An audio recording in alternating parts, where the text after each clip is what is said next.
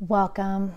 It's day eight of our 40 daily 10 minute places of pause. So glad you're here.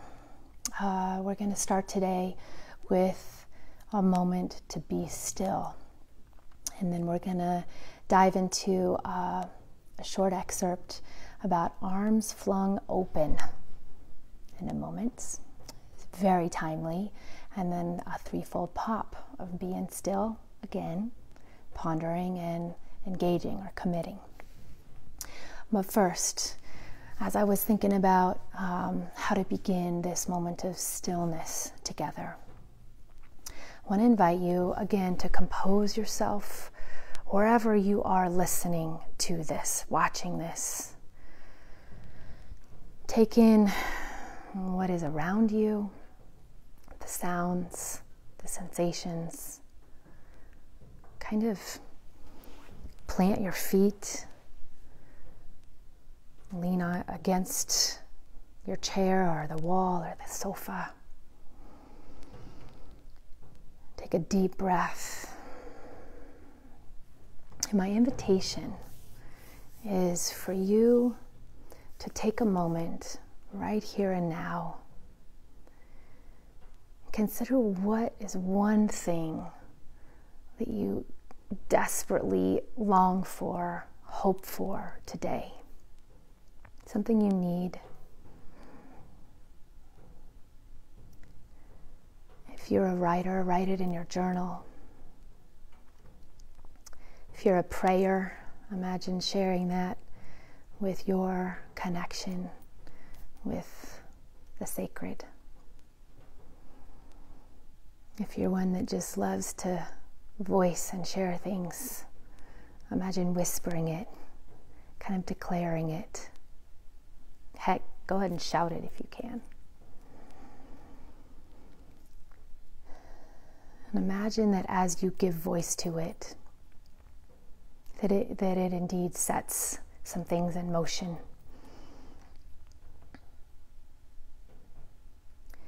And then kind of take that same idea that same invitation.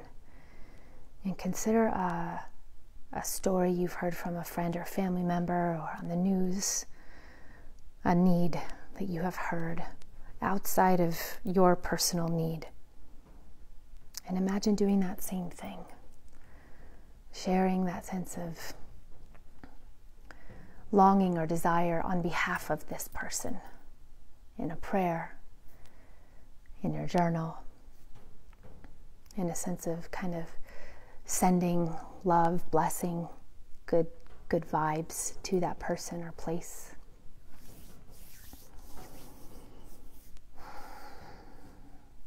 Kind of playing with that both and the rubber band of of the me and the we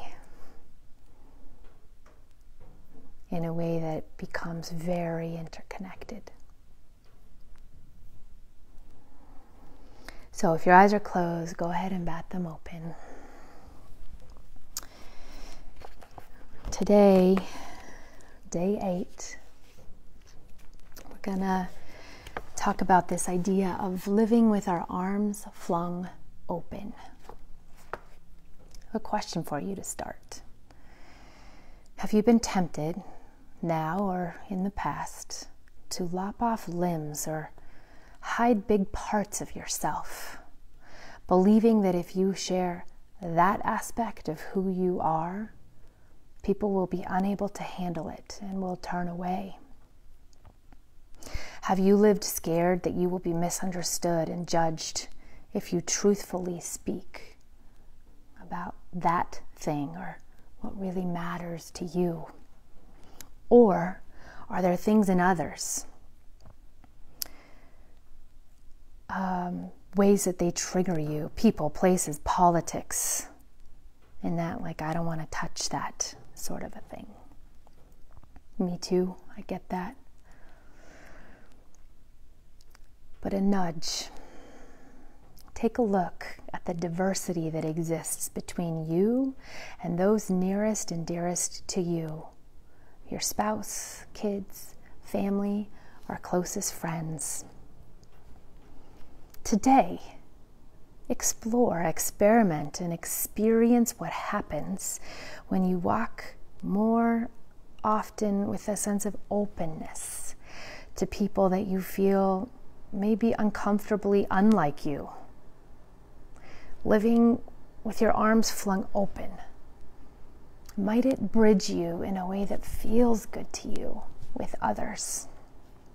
This is a radical resolution, a brave way to be sure. This is a courageous commitment that is even more important and perhaps difficult when dissimilarities are vast and in seasons like this when we are living with great, frequent, epic messages of fear, distancing, division. It can be discouraging.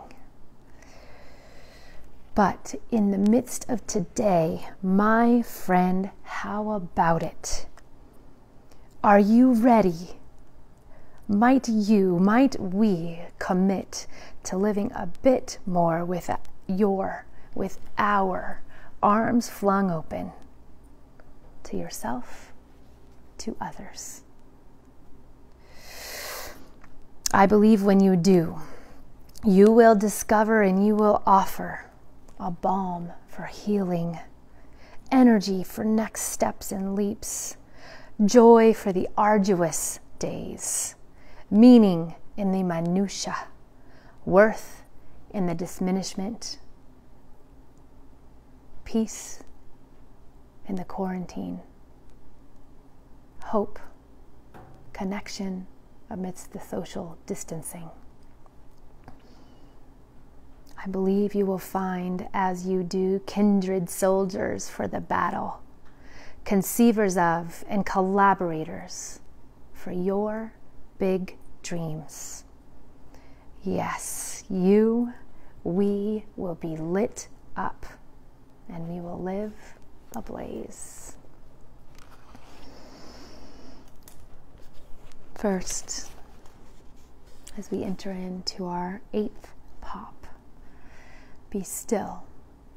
Surrender. My friend, take these moments. Just be here. Open in your heart. Be still. Second, ponder. Go deeper. What parts of you do you hide? Fearing judgment or disconnection from people closest to you? Are they related to your political views, spiritual beliefs, the highs and lows of your bank account? A very real thing right now. Or how you look, how you feel, something else. How might you invite others to be more real and raw themselves? Wholeheartedly sharing themselves with you.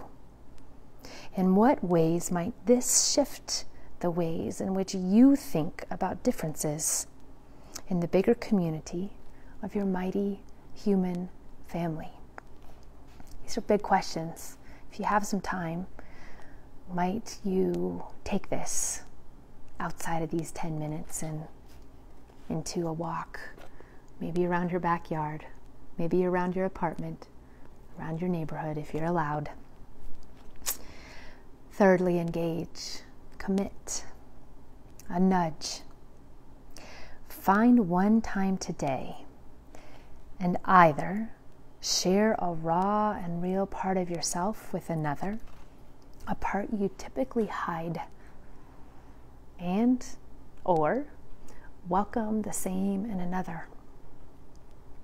Consider having this interaction with someone near and dear to you, someone with whom you are very intimate with, but from whom you might hide this part of yourself.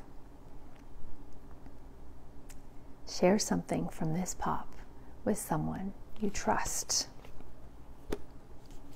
Again, if that's us here in this platform, comment below. If it's intimate and private, send me a message. Don't go it alone. These are isolating, challenging days, and no one can go it too long, too far alone. So, my dear friend, a reminder, a blessing. You are loved. You belong. We belong to each other. Let's rise. Let's stand tall and light up the world. Peace.